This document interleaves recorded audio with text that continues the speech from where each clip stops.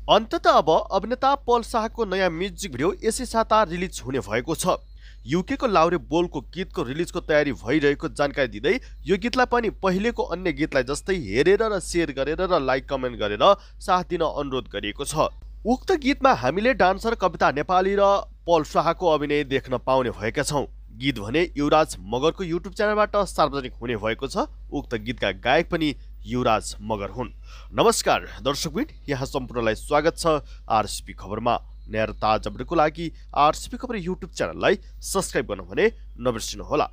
नेपाली दर्शकका ढुकढुकी real hero अभिनेता पल शाह र नेपाली गीतका डान्सरको रूपमा आफ्नो छुट्टै परिचय बनाइरहेका कविता नेपालीको अभिनय रहेको नयाँ म्युजिक भिडियो युकेको लाउरे बोलको गीत यसै साता रिलिज हुने भएको छ।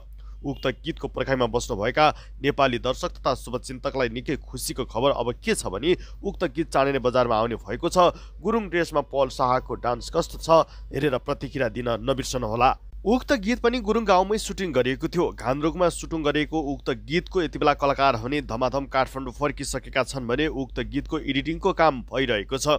यति बेला पल शाह चलचित्र मायावीको काम सके लगतै घान्द्रुक पुगेर उक्त गीतमा अभिनय गरेका थिए भने काठमाडौँदेखि कविता नेपाली भने उक्त गीतको लागि घान्द्रुक पुगेका हुन्। यति बेला दुवैजना कलाकार र सिङ्गो टिम नै काठमाडौँ फर्किसकेका छन्। नेपाली दर्शकका ढुकढुकी भएकै कारण पनि पल शाहको गीतप्रति दर्शकको आकाङ्क्षा निकै ठुलो रूपमा बढिरहेको छ।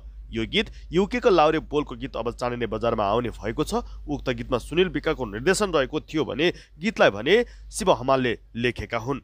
नेपाली दर्शकमाझ लोकप्रिय नायक पल शाहको एकपछि अर्को गीत बजारमा आउने क्रम जारी रहेको छ।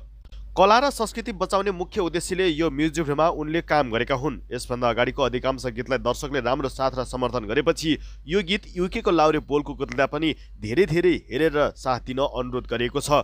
गीत युवराज मगरको च्यानलबाट सार्वजनिक हुने भएको छ। तपाईँ पनि पल शाह र युकेको लाउरे बोलको गीतको प्रखाइमा हुनुहुन्छ भनेदेखि हाम्रो च्यानललाई सब्सक्राइब गर्नुहोला। हामी थप यस्तै अपडेट लिएर आउनेछौँ। अहिलेको लागि यो भिडियोबाट बिदा चाहन्छौँ। नमस्कार।